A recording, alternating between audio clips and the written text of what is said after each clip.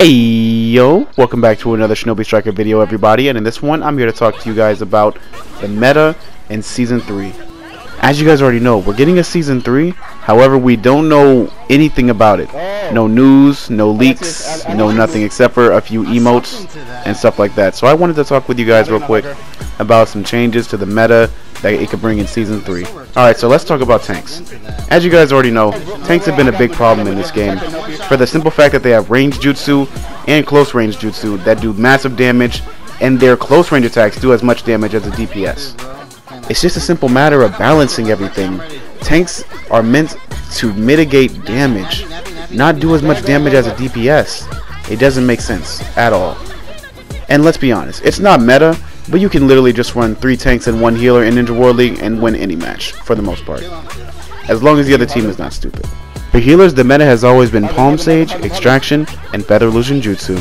Heal tags weren't always the same as they are now. They It used to be very stationary. You plant it in one spot, and it healed people within its vicinity. Making it mobile was the greatest decision they could have ever made. Because with just Palm Sage and Extraction, healers were being destroyed back then with people that actually knew how to DPS. Like, it's not as bad as it was now, guys. Healers that are playing now, count yourselves lucky that you were not playing back then because you would have been smoked. Meta might change actually if they decide to nerf Water Pillar. It's actually been a big thorn in the community side from what I've heard. It's just been used everywhere on combat, flag, and even base. Base is actually where it's the most annoying one. You have an extra shield with Sand Shield to take bases easily and hold them off. Sand Shields reset your jutsu, and Water Walls are just hard to get into. You really can't win. As for range, I don't think the meta is going to change. Lighting that fireball, lighting that majestic, infernal style, flame lightning, they're all going to be the same. All going to be the same. There will be no meta changes there. Because those will always be the best moves in the game, and people will use meta till the day they die. Listen, why do you think nobody goes around using Ink Birds and Water Dragon on their build? It doesn't do enough damage. It doesn't get the job done. That's what people like on this game. As for attacks, I'm pretty sure they're not going to change the meta at all. And even then, maybe slightly.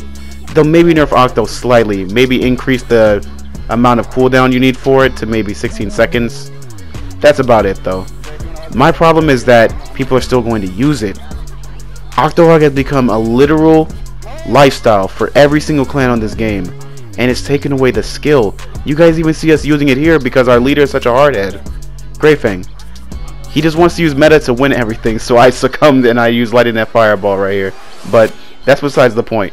Guys, attackers do not need Octohug to do damage. There are other options.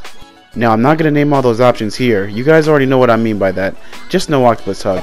Some sort of diversity in there that'll make it look like you have skill. That's enough about me ranting, though. If you guys enjoyed, let me know by leaving a like. Comment to me the meta changes you think might come in Season 3. But like usual, you guys have a wonderful day, and stay safe.